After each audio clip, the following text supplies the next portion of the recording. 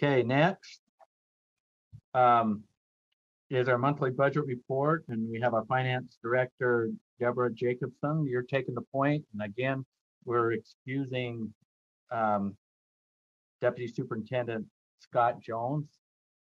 So we're, we're, we're, it's going to be great hearing from our finance director, Deborah Jacobson. You ready to join us? Yes, thank you, Chair. Um, and good morning, everybody. Um, okay, every month we're required um, to basically give you a status on the health of our financials. Um, so in your backups, again, you will, as always, you'll see um, a monthly budget report that is broken out by not only section, but by program and by state and federal funding. Um, this particular report you'll see is actually month ending January 31st, 2001. Um, there's always a delay, a month delay there um, due to the fact that the timing of month end close processes and when board backups are due. Um, so we're always kind of a month behind. But I am here to testify today that USBE continues to be financially sound and um, has the ability to cover all current and future obligations. So um, with that, I'll just open it up to any questions. Okay, question from board members re regarding our monthly budget report. I'm not seeing any hands raised and thanks for putting those in the backup and thank you for your statement on us being financially sound. Sure. If there's no questions and under your direction, if we can move to the discretionary report. Let's move to the discretionary funds report. So again, we always, every month, kind of go through, this is what um, um, has occurred due to carry forward from years past um, that's under the board's discretion to, um, oh, there it is. Sorry, I can't see that report. It's a little, um, so we give you a monthly check on where this stands based on, so you'll see up in the upper right hand corner is where we initially started at the beginning of 2021. Um, by way of a whole closeout process, on the left-hand side of the report are um, programs or projects that the board has approved. And then, of course, you can see that um, where we stand on that as things are spent and what's remaining in those projects. So with that, if there are any questions. Any, any questions from board members on the discretional fund report? And I'm not seeing any hands raised. Okay, that ends the discretionary report. So if we can recognize um, Director Sarah Young for her report on the CARES funding. Before I recognize um, Director uh, Young, thank you um, Director Jacobson for filling in for Deputy Superintendent Scott Jones. I know you look forward to this quite often. well, I'm not gonna lie, I'm having a little bit of a deja vu moment. so, so thank you for filling in and, and being prepared and your good work. So thank you. Next, we'll turn the time over to Director of Strategic Initiative, um, Sarah Young. Are you ready to present? Thank you. Thank you, Chair. Um, Jerry, if it would be possible for me to share my screen, I'll put the presentation up. Well, I, I'm sure somebody's got the controls there that's going to do that for you. Yep, I am ready to go. Okay. Thank you for this opportunity. I'm Sarah Young, Director of Strategic Initiatives for the State Board of Education, presenting our monthly update on CARES funding for K-12 education to the State Board. So when we talk about CARES funding as a friendly reminder, um, it is an ever-growing pot of um, different individual funding streams that will have different guidance coming from different entities at the federal government as well as through some of our state legislative efforts um, to provide coronavirus relief efforts in the K-12 setting. You'll see um, all of the different awards that we're going to touch on here today. Uh, the first one being the Elementary and Secondary Schools Emergency Relief Act. We will also touch on the Governor's uh, Emergency Education Relief Award, our coronavirus relief awards, which are broken down into different use cases. Um, we'll provide you an update on ESSER 2 or the second uh, wave of funding that came in December, um, as well as on touching on some of the other programs that the state board has engaged in. So you'll see on this slide, we've given you a breakdown of each of the individual awards. The second column is going to speak to the total amount of funding that was awarded to the State Board of Education through each of these opportunities.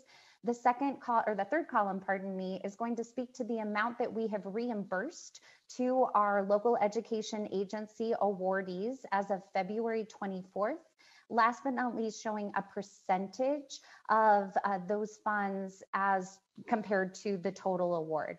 You'll note that the K-12 broadband grant has been closed. Um, so we've received all of the reimbursements that we will for that particular program.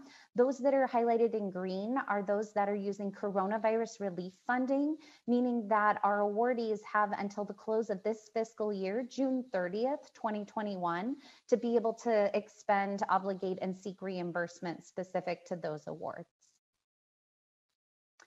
As far as ESSER 2 goes, um, we have moved forward with the uh, re-awarding of that grant to the field. So as you may remember when we presented last time, we were in the process of issuing the ESSER 2 awards and receiving applications from the field when um, there was some state intent language that was placed um, in terms of additional guidance related to our LEAs and how they spent those funds.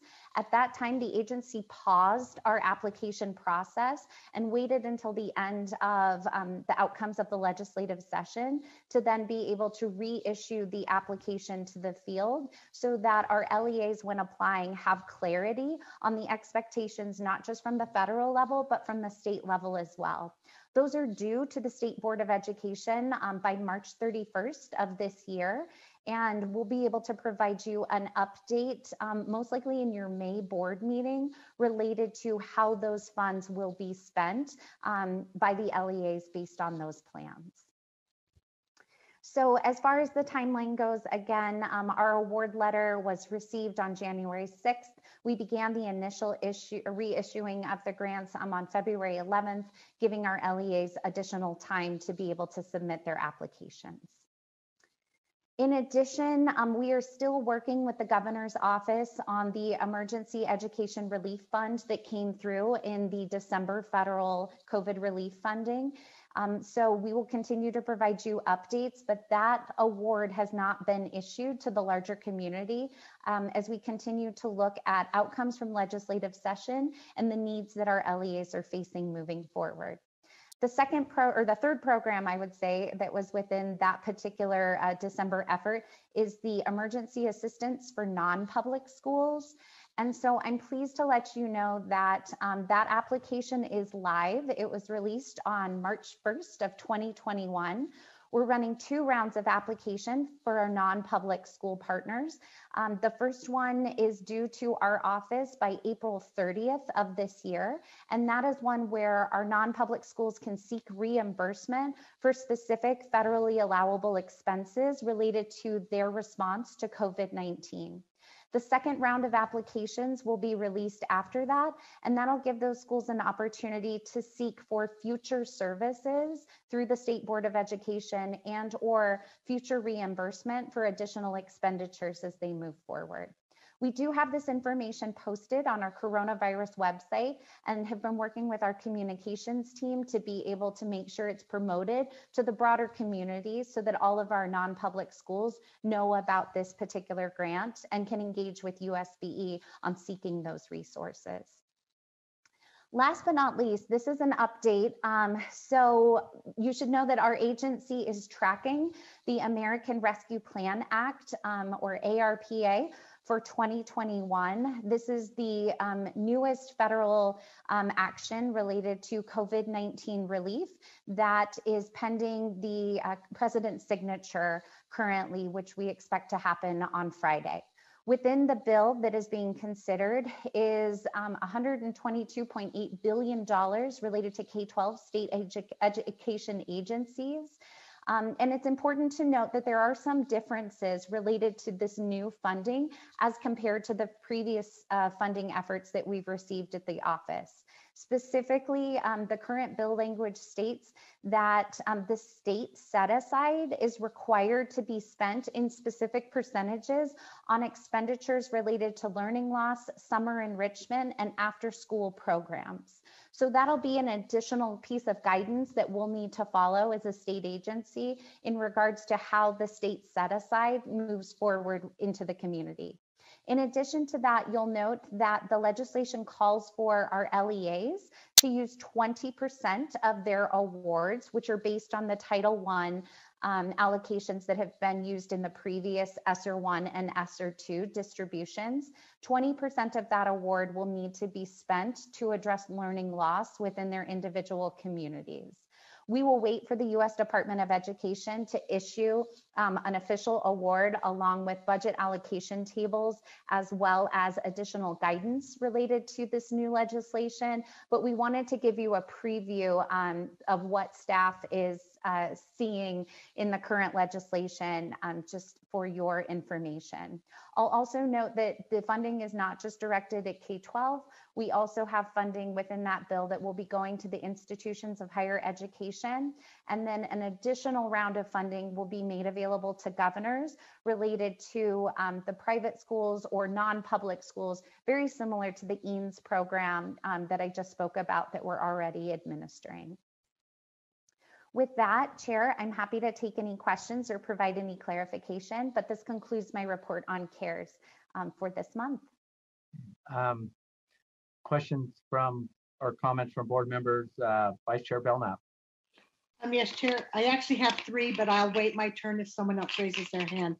Let's My do- first, my first question is the state requirements for ESSER two, what are they that are due on March thirty-first? Do you have that listing somewhere, Sarah? I can't remember what was changed in the bill. Hey, sorry, Thank you. Um, so thank you, Vice Chair Belknap. So it is posted on our website, um, but I can say that the clarification was originally um, we have the list of 14 allowable use cases that are presented by our federal partners. And then in addition to that, the state intent language was specific that the funds had to be spent on learning loss or it would impact the local education agencies um, state allocation related to the um, the public education dollars that were coming their way. They have since revised that to align with the federal use cases, um, but they specifically called out that that same um, reverse match would occur if an LEA was to spend on capital expenditures or HVAC. So effectively, those are the two use cases that were removed from the federal list um, in terms of our LEAs and their applications. So it's just those two. Thank you. And Chair, one more, and then I'll Okay, back let me off. jump to these others, then I'll jump to you. You had three. Okay, Okay, come back to you. Um, board member Cline, Um, yes, I just had a question about the two point seven five billion, uh, to the governors for private schools. Is that gonna cause issues with, um, requiring private schools to follow federal mandates that come with federal dollars? Chair, if I may. yeah, Director Young. Thank you. Um, so thank you, Board Member Cline. So in regards to um, accepting these awards, it's actually um, going to be the same program, just a second round of what we're currently administering through this emergency assistance for non-public schools. Um, so a few pieces in regards to federal requirements. Because we are required to maintain control um, of the federal funding through a public entity, um, none of these schools, uh, non-public schools, are technically federal awardees. Um, we are responsible as their SEA for the public maintenance of those funds. So what it means is, is that they have to follow the federal guidance related to the program. For example, they cannot have received a payroll protection program loan um, after December 27th.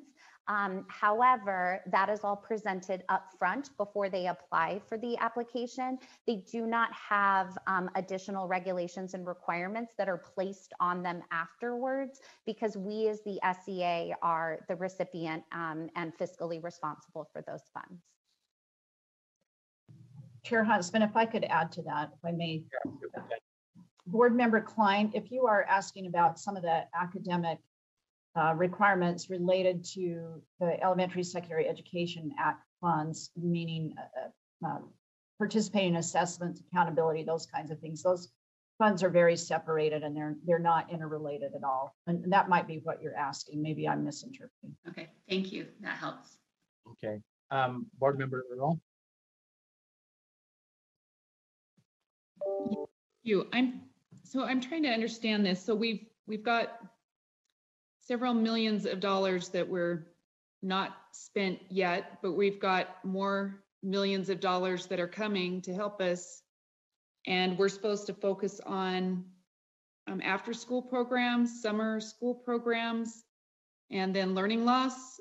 Um, what's the, I guess I'm trying to understand, maybe it's a little frustrating that we've got so much money and we've got do you know what I mean? Which is, that sounds really crazy. We shouldn't even be saying that. But at the same time, I- there, there seems to be a balance. When that money goes away, where do those programs go and who is going to be funding those programs? Or do people know this is maybe only a temporary two-year, you know, expansion of, of schools or learning? Director Young, That's Thank my you, Chair. So thank you, Board Member Earl. Um, in regards to these funds, when we are um, issuing these funds through application to the community, we are very clear that they are one-time funds. Um, and so we are also very clear on the expectations around the federal award and how long we have to be able to spend these funds related to that award period. Um, as far as um, these individual efforts um, related to not just learning loss, but summer enrichment and after school programs, I think it's really important to note that they all have to be targeted specific to responding to impacts due to COVID 19. So as we move forward, um, I believe the the intent um, and the hope of the community is that um, these are needs that we have right now due to COVID 19, but that as we move further away from the impacts of the pandemic, hopefully those um, impacts lessen because we're able to address them using these resources and that it will not be an ongoing need in perpetuity. so, so it is limited. Did you have a follow-up, board member Earl? Okay. Uh, Vice Chair Belknap, you had two additional questions. Thank you. I don't think they'll be too long. Okay, so one is where, when money goes to the non-public school, K-12, is it K-12 only, or could that include preschool? So I will have to get back to you on that. I know that the U.S. Department of Education has issued guidance related to those um, expenses that are allowable. Um, I will note that in regards to um, the use cases themselves, they're really pretty broad to a school community. They're not really specific to an individual grade level. So it would be possible um, for a school community that serves maybe preschool as part of a larger K-12 system to use those resources to meet those needs. Um, I'm just not, um, and, and would want to double check before saying that it applies to only preschools. All right, thank you. Um, Chair, then my next one, Chair. Next question. On the hundred and twenty-two point eight billion dollars for the K-12, do we, have you, has the office uh, taken a look at the plans for distribution of those funds yet? How that would be distributed? Chair, if I may. Yes. Director Young. So in regards to um, the allocations that have been published in the legislation, uh, this money will be um, overseen by the U.S. Department of Education. They will not release um, official state allocation tables until the bill is effectively signed um, by the president. And so um, we do have estimates um, related to um, what we would expect to see based on the um, I guess the allocation methods that they're using. Um, and we would expect it to be um, a little over double what we received from the December distribution.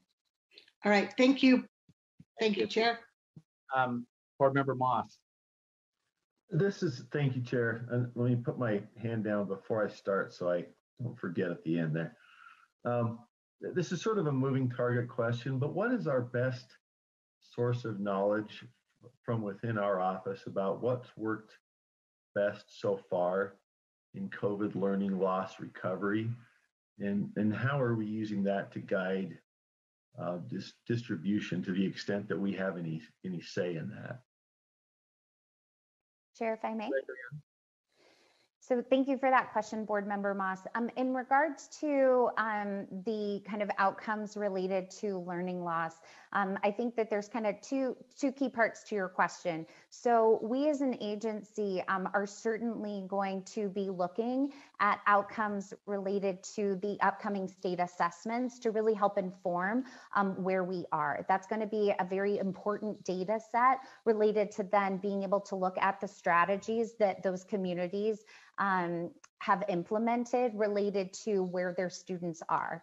Um, so in a way, we don't have that data set just yet to be able to make that type of comparative analysis across different plans um, as they've occurred.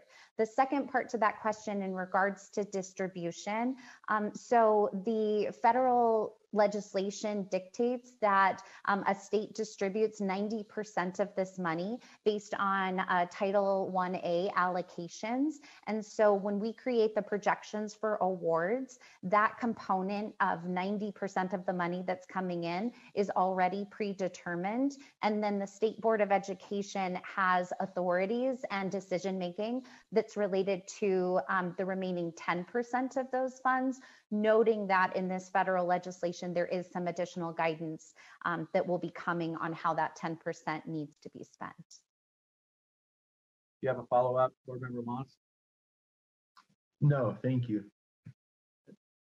So, so, and that, I'm, I'm sure that data is going to be coming to us, but the LEAs, a lot of the LEAs that were on the Hill and participating in a lot of the legislative discussions, they, that it's, they've asked that there's a lot of flexibility on how this spending will happen, because not all LEAs are created equal, and they have strength, they, they can capitalize on the strengths that they have in their LEAs, and they can work on their, their weaknesses, but most of them have in that space. They're they're looking at their summer bridge, extended days and extended resources um, as a form of mitigation. But they really have been aggressively asking for a lot of flexibility as they approach using knowing and using their existing resources, and also knowing uh, uh, external resources that are out there.